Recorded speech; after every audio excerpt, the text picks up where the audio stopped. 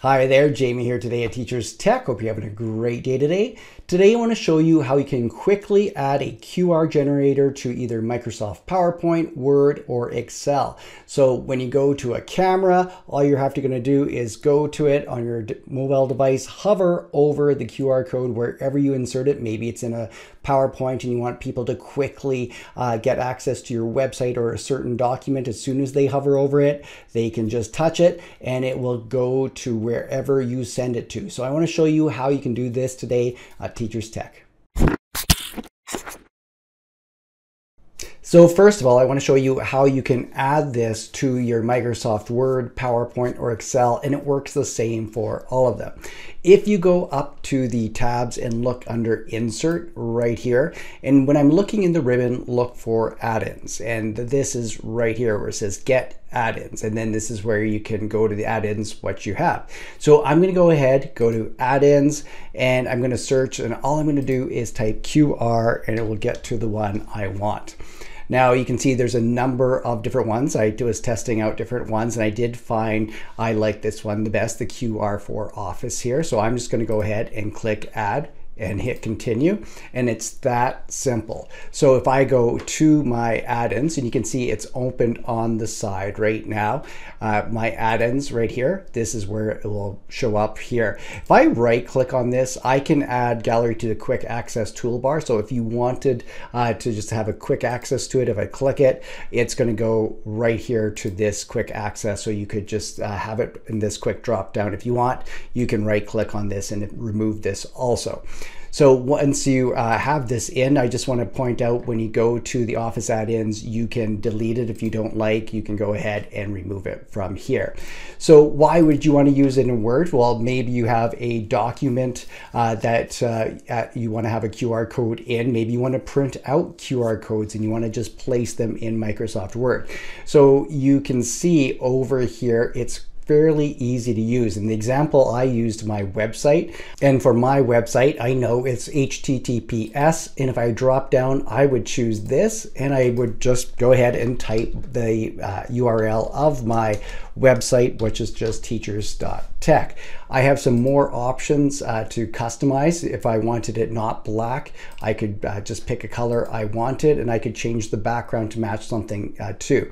Notice there is size here. I could increase the size. Right now it's full size 125 by 125. It shows me where it's going to be going to also here. I'm going to increase the size here. Uh, let's say if I was putting it into a document like this, and I was printing it out and putting putting it somewhere uh, where people could just walk by and scan it. Maybe I want a little bit larger. There is an error correction. So what this allows you to do is to increase the percentage if you uh, that will help for any error correction, but it will make the uh, the data of the QR add more data to it also. So I'm just leaving this as 15%.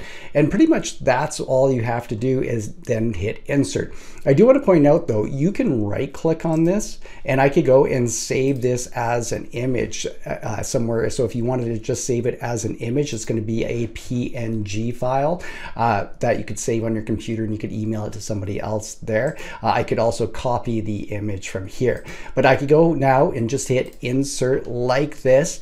And I have that exact same QR code that I showed you at the beginning with my phone. I would hover over it and it would bring me to my website. Now I want to point out uh, right up the top here, you can do more than just going to a website with a QR code. You could put an email address in. So maybe you're doing a presentation, uh, you're in PowerPoint and you want a quick way for people to email you. They could, if you change it to mail to and put the email address, that's where you would do there. And you can even do SMS and there's even custom.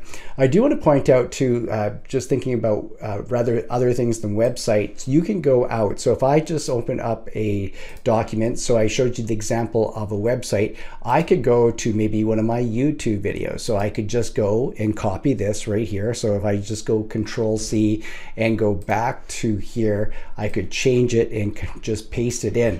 The one thing I want to point out is uh, if you paste it in with this HTTPS, you want to get rid of this here. So if I just go and delete this like this, uh, and then you can see it will work. And if I hit insert, now I have another QR code uh, right here, and it's going to go to that one there. There. Uh, you could do other things as well. So maybe you have a PDF in OneDrive. So if I uh, went over back here and went to uh, maybe uh, OneDrive like this, you could pick a document out of your OneDrive. So this could also be Google Drive. It could be uh, even uh, with Dropbox if you're using that. If you go ahead and let's say a PDF, I could go to this and select this and maybe I want to share this here.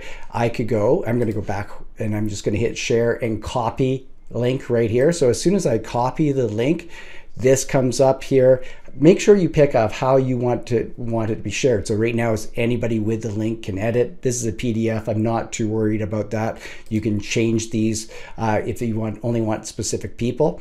But uh, I'm going to go ahead uh, and if we didn't want to allow editing, we would take that off but we can go ahead and cancel copy and then I could go back over to Microsoft Word and this time I could paste it in over here. So if I just control V it, remember I need to get rid of that beginning part here. I'm gonna get rid of that and it updates here. If I uh, go ahead and insert it, I have this one uh, that will bring me to that PDF. And you can do this with other things also. Remember that if I go over back and go into my, uh, maybe I have an Excel uh, with my 365 online, I could just copy paste these here. But again, permissions matter. So if I hit share, I could go and copy uh, this link right here and then do the exact same thing and create a QR code. So there's many things that you can create QR codes here. Let me show you now with an example on my phone of the, some of the things that we created. So I just switched over to PowerPoint. I put those exact same examples in. If you take a look under the insert here, you'll notice that the add-ins is exactly the same as Microsoft Word as I showed you, and it works the same in Excel. Uh, so these are some of the examples that we just made. If I go and open my camera up here and hover over them, you can see that that was my website one that I showed you in the demo. And if I go back, go back to my camera again, and this one was to a document here. So this one, when I open this up, it brings me to a PDF that I had in my OneDrive. Remember, you can do this to Google or Dropbox as well. So if I go to my camera again, this one is just to a YouTube video and I'm just going to go ahead and change back. And then this one, I changed it to an email. So if you wanted uh, to quickly give out your email where people could scan and it's in a presentation, you could go ahead and do that. And then it will open up whatever you have set. So those are just some different examples that I've created. Remember, you can do this in Microsoft Excel. This is all free to uh, use when you add them and you can remove it if you don't want it on your computer. So I hope you like this tip about how to to add QR codes to Microsoft Word, PowerPoint, or Excel. Let me know uh, if this helps you out or what you're looking for, and I'll be back next week with more tech tips and tutorials.